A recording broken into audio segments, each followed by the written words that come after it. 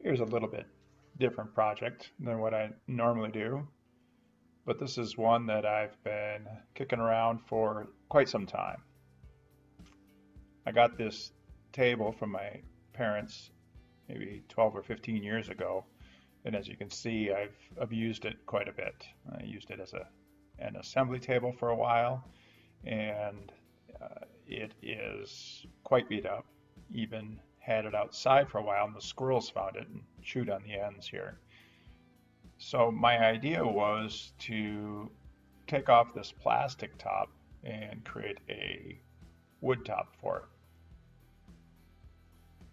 Taking off the legs was actually quite a bit easier than I thought it was going to be. There were just eight screws that held it into this plastic frame. What I didn't expect though was the frame was going to fall apart when I pulled it off. It took me quite a while to get it back together and I held it in place with clamps while I was working on it. But this was kind of funny when I first took it off, it fell apart. The wood I'm using, I think it's butternut. I'm not 100% sure. I was told it was butternut when I bought it from this person who had it stored in their barn for 10 plus years, but I'm not 100% sure what it is. If you think you know what this wood is, leave a comment down below. But anyway, it was straight enough where I could take it right to my thickness planer once I cut it down to manageable sizes.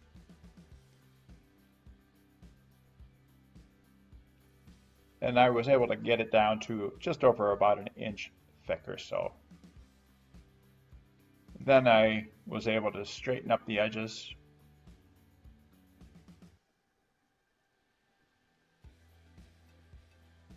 I did the first side off camera. But then I got to do some resawing on my bandsaw. This is the first time I've resawed on this saw, and it worked pretty well. I had to take it slow, but I got a nice consistent cut all the way across.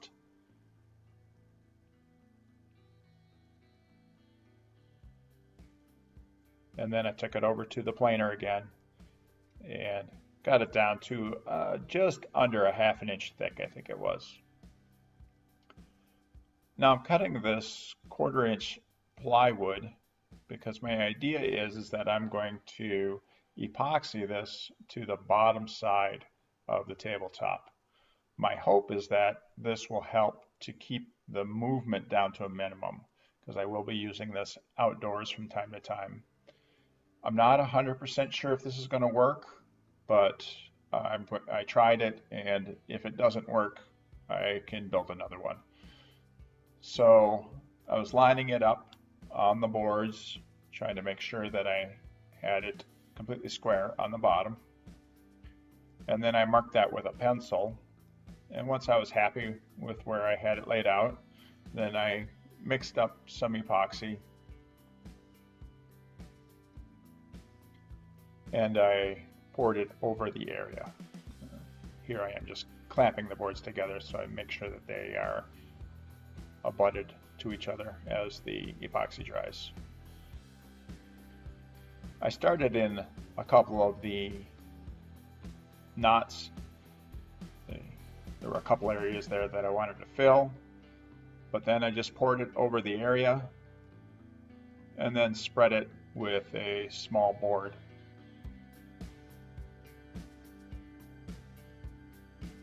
I like doing it this way because it's uh, it's I don't have to worry about that stick. I can just throw that out afterwards, and it works well. Then I can place the plywood back on the boards. And then I place these 2x4s to help spread out the weight of the dumbbells that I placed on top of them.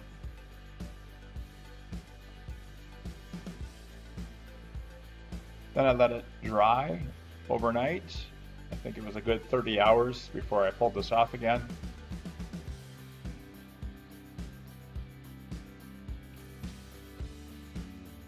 And it came out actually quite nice. It was very straight and uh, the boards were nicely glued together. I didn't see any gaps in between. Then I did the same thing on the rails that I'm going to put underneath the table. I really didn't need to have plywood on there, but the thickness of the these boards were only half an inch, and I wanted them a little bit thicker just to help with the stiffness. So I glued up these uh, pieces of plywood onto the boards as well.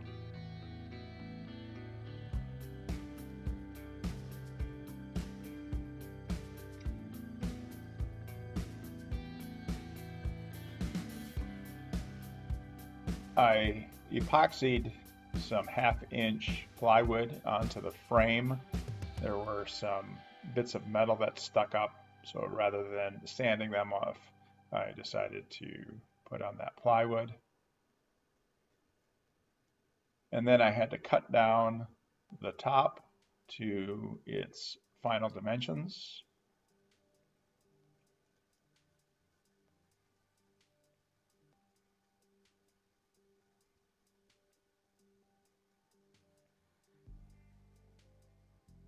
And then I could glue on the bottom rails.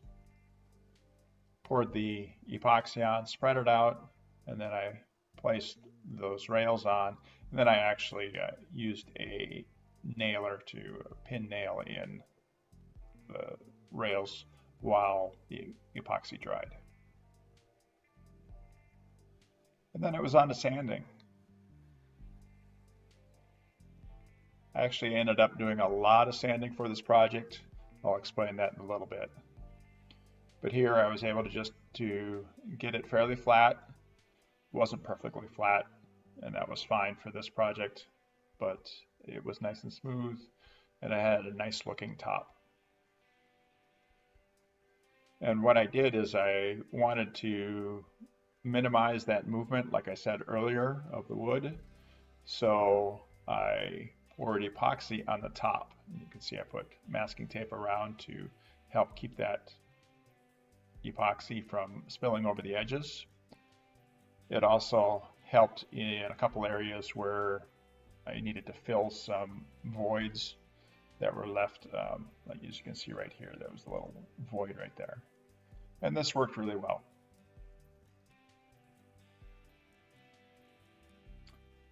Then I gave it a sanding afterwards.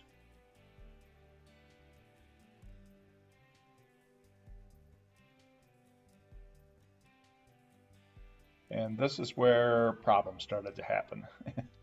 uh, as you can see, I, I, put on this spar varnish, and uh, when I opened it, uh, I saw it was kind of this milky white color. And it was several years old, and I, I hadn't used it but I thought, well, maybe it just will turn clear. Nope. It looked pretty darn ugly. And uh, oh, I was so frustrated. So I ended up, I tried to sand it off, but when I sanded it, uh, the epoxy would just melt underneath uh, from the from the sandpaper. It would get clogged up. So I took out uh, my angle grinder and put on a, a, sanding disc and I had to take it down to the bare wood and then I spent another four hours sanding everything to get it nice and flat again. And then this time, once it was done, I put uh, this finish of boiled linseed oil, mineral spirits, and polyurethane. Then I took some more epoxy and I, I thickened it here, we added a little sawdust because I didn't want it to run off the edges.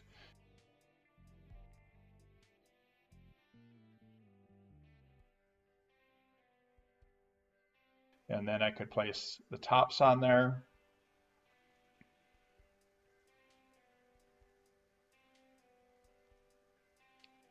And again, I weighted those down and then once I weighted those down, then I could screw in from the sides and get them. Uh, I, this was really important because then I could work on it while the epoxy was curing. I had those washers there so the screws wouldn't go all the way through. And then I just had a few more things to do. I attached these magnets on the bottom to keep the legs from coming loose when I closed the, the table up. That worked pretty well. And I attached these window sashes, uh, window sash closures, I guess is what they're called, to the ends. And this helps to keep it closed while I am transporting it or when I'm storing it.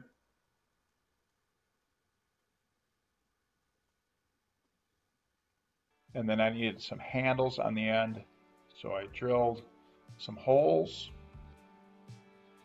And then I took this 5 8 inch rope, threaded it through, tied a knot on either side on the inside, and then I had my handle. And I did that for both sides of the table. Finally, I put in this sort of a French cleat system to have these pieces of three quarter inch plywood so that when I go to open the table, it stays flat on me and doesn't try to fold up on me. So all in all, I'm happy with the end result. There are some areas of this table that I'm not real happy with. Some of the varnish is from that I first applied is still in some of those corners I couldn't quite get out. But uh, overall, it'll be a, a very nice table. It looks nice. It is heavy. I, I will say it's a it's a, a bit heavier than than the table was beforehand, but it does look a lot nicer.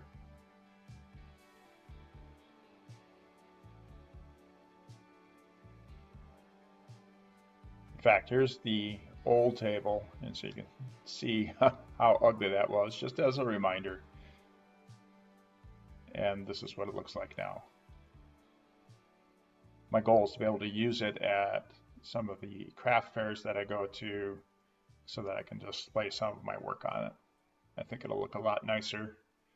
Plus I'll be able to use it around the house when uh, I have guests over.